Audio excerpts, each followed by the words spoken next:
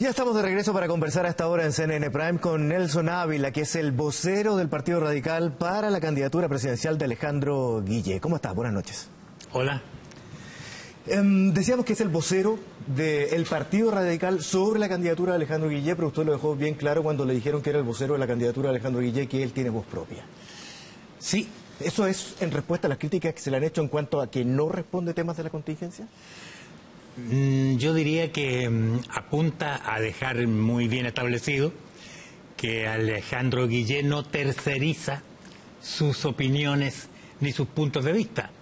Él opina sobre lo que le concierne como candidato presidencial con total y absoluta autonomía.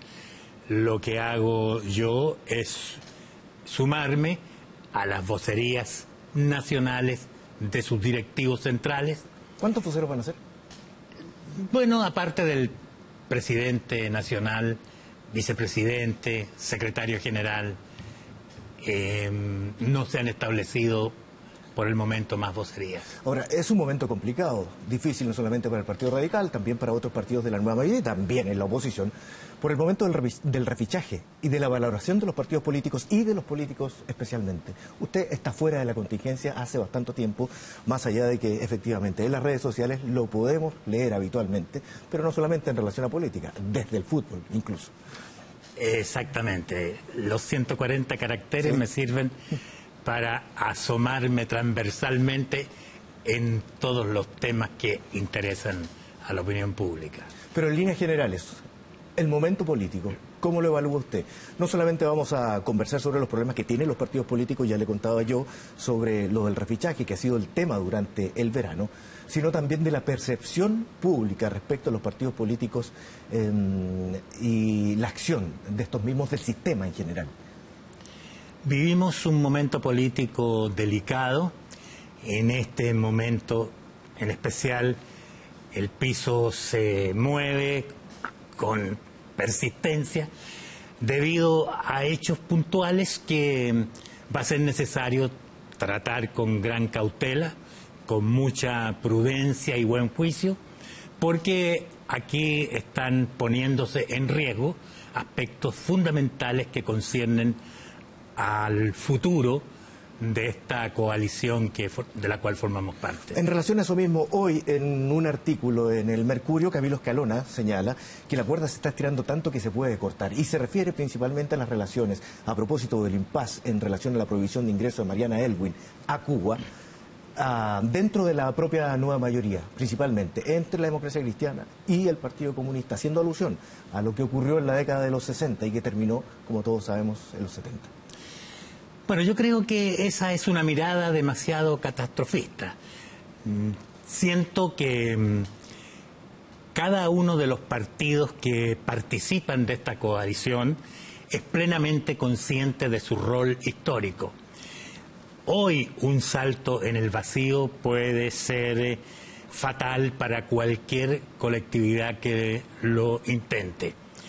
Siento que mm, debemos ser capaces, como lo hemos sido en el pasado, de superar las dificultades que entraña la convivencia de visiones legítimas que se tienen sobre los diferentes aspectos de la realidad nacional. Pero usted ha sido bien crítico y también voy a hacer alusión a las redes sociales porque se lo leí en Twitter específicamente, con la actitud que ha tenido Mariana Elwin y las declaraciones que ha sacado, incluso hoy en una columna en un diario de circulación nacional, donde se ríe respecto a las supuestas intenciones del plan para alterar la convivencia al interior de ese propio país. Usted dice específicamente que... Mm, eh, Mariana Algún quiere sacar las garritas, y se lo digo entre comillas, porque es el término que usted utiliza para intentar dar golpes internos hacia la derecha. Bueno, em, hago especial hincapié en el hecho de que Twitter es un espacio más visceral que racional. Por lo tanto, a veces allí eh, suelen escaparse expresiones que pudieran legítimamente incordiar a más de alguien. Pero el fondo de lo que planteo allí lo mantengo, en el sentido siguiente.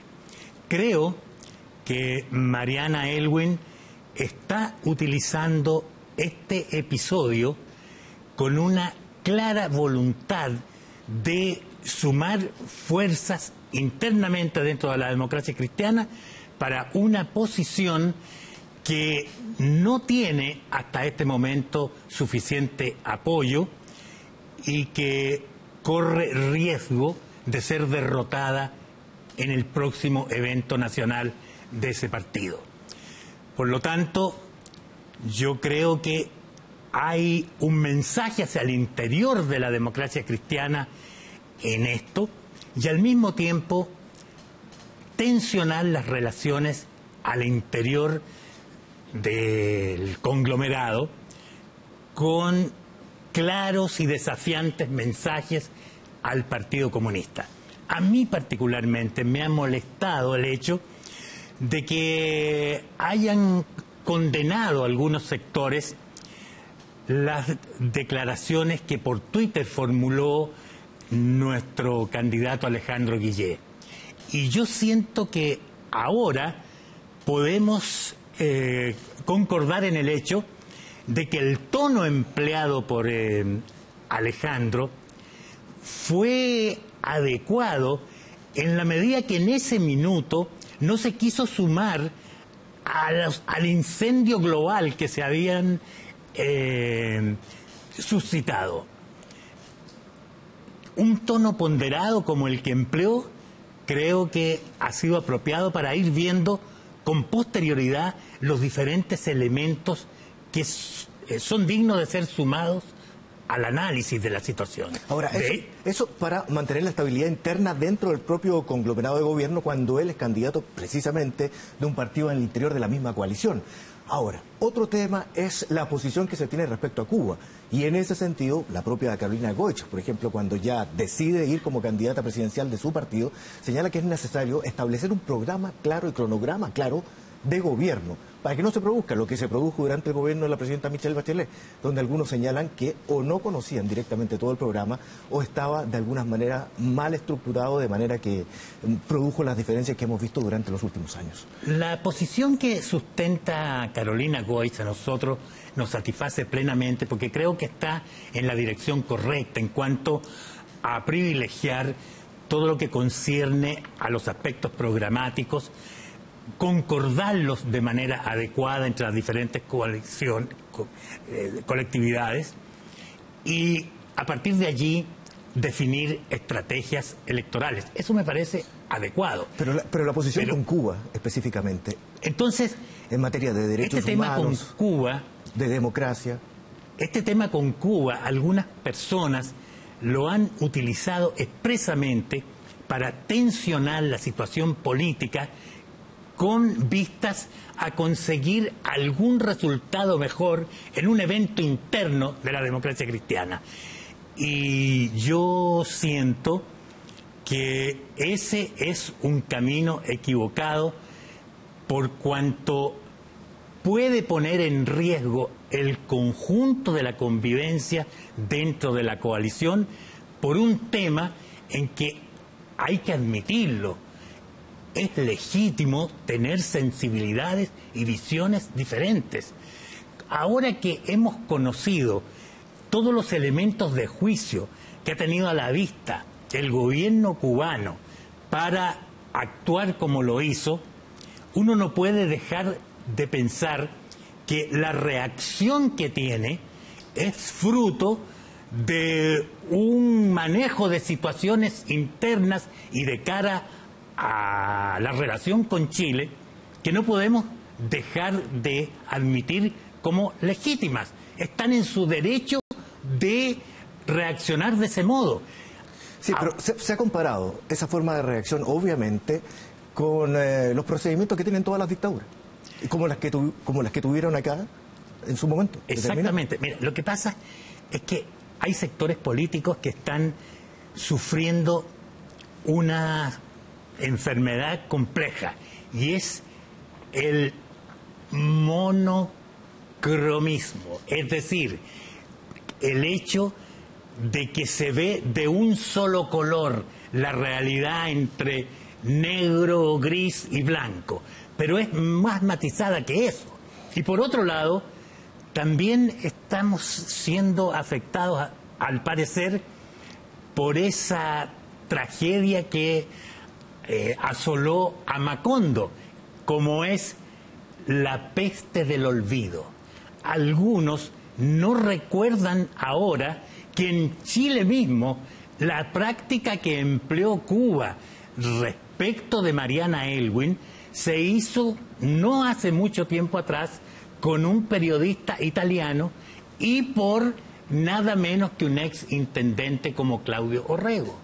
Es decir, los países hacen uso de atribuciones específicas que poseen para eh, tomar resoluciones respecto de problemas que pueden considerarlos en su minuto como atentatorios contra su estabilidad. O sea, ¿usted no considera que lo hecho por Cuba, no solamente con Mariana Alwin, sino también con el expresidente Calderón y el eh, secretario general de la OEA, eh, responde a patrones propios de una democracia?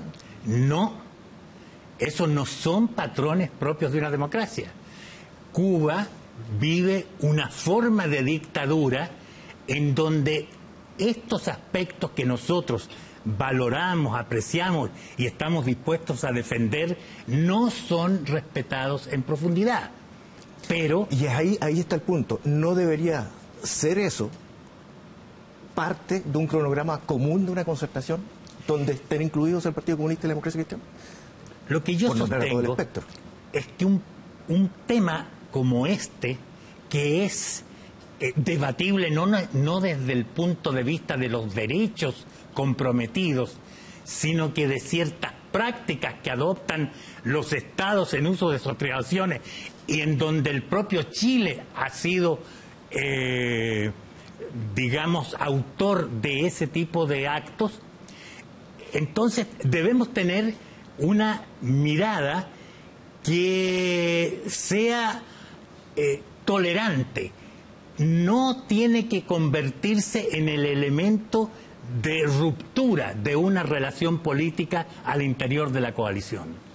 Se han escuchado declaraciones como la mm, del mismo expresidente de la democracia cristiana, Ignacio Walker, en que señala que, dada la candidatura también de Alejandro Guille, que un segundo gobierno de la nueva mayoría a lo mejor no sería conveniente para el desarrollo del país.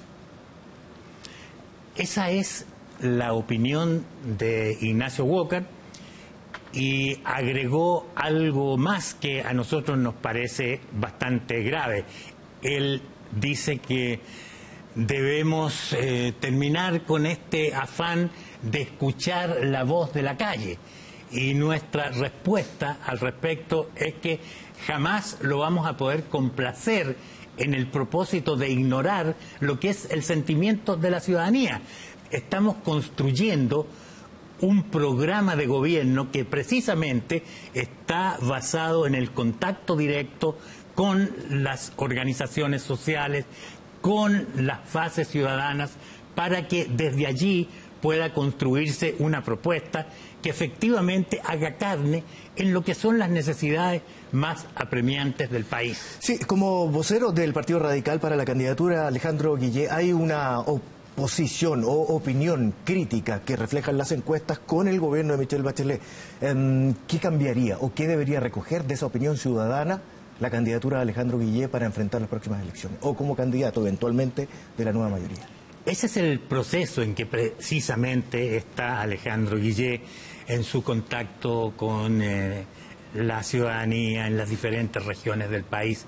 Estamos sosteniendo sin estridencia contactos a todos los niveles, con el propósito de ir tomándole el pulso a aquellos aspectos que están siendo más sentidos por parte de la gente y estarán dando los elementos para llegar a construir una propuesta de gobierno que eh, sea verdaderamente el fruto de este intercambio de opiniones, de puntos de vista y al mismo tiempo concite un apoyo efectivo porque la gente sienta que está siendo parte de esa propuesta.